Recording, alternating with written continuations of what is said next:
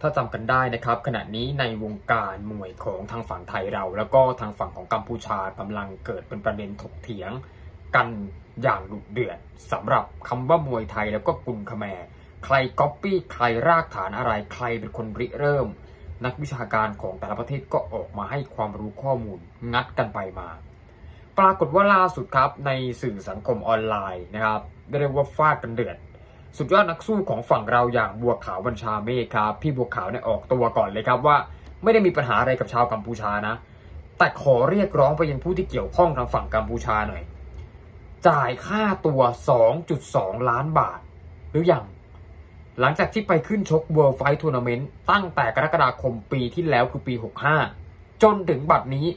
ยังไม่มีการจ่ายเงินค่าตัวให้กับนักสู้ไทยเลย เนี่ยครับคุณผู้ชมครับพี่บัวขาวบัญชาเมฆนะครับวัย 40 ปี ซึ่งขึ้นสังเวียนชกมวยในกติกา 3 ยก มวยกุนคาแมก็คือมวยของกัมพูชาเขาที่มีรูปแบบคล้ายกับมวยไทย พบกับเดมิทรีวาลัสวัย 33 ปี สัญชาติเบลารุส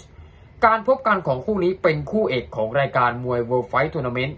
แข่งขันที่สนามกีฬาแห่งชาติมรดกเตโช กรุงพนมเปญราชอาณาจักรกัมพูชา วันพุธที่ 6 กรกฎาคม 2565 ที่ผ่านมา ปรากฏว่าการแข่งขันมวยในรายการนี้กระทบมาถึงบัวขาว นักสู้ตำนานชาวไทยของเรา เพราะยังไม่ได้รับค่าตัวจากฝ่ายจัดการแข่งขันเลยครับ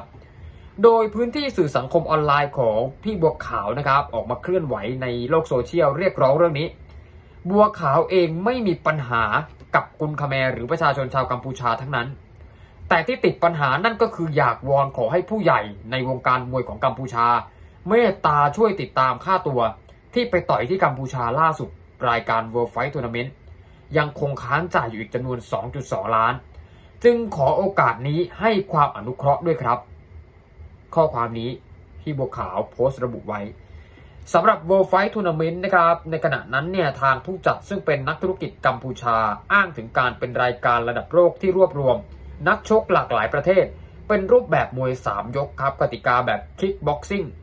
ทั้งนี้ตอนนั้นเนี่ยพี่บัวขาวไม่ได้ขึ้นสังเวียนชกมวยนาน 3 ปี กระทั่งมาขึ้นเวทีรายการนี้ในวันพุธที่ 6 กรกฎาคมเมื่อปี 65 ใน World Fight Tournament พี่บัวขาวชกในกติกากุนคาแมหรือมวยกัมพูชา พบกับเดมิทรีวัสจากเบลารุส และนักสู้จากประเทศไทยของเรานะครับ พี่บัวขาวเนี่ยเป็นฝ่ายชนะคะแนนเนี่ยได้รับเหรียญทอง ส่วนเดมิทรีวัสเนี่ยได้รับเหรียญเงิน นี่ ปรากฏว่าพี่บัวขาวบอกว่า การชกครั้งนั้นเนี่ย วันนี้กัมพูชาว่ายังไง ผ่านมาปีแล้วเนี่ยยังไม่ได้ค่าตัวเลยครับ โอ้โห เดือดมาก ไม่รู้ว่ากัมพูชาเขาจะว่ายังไงกับเรื่องนี้ครับ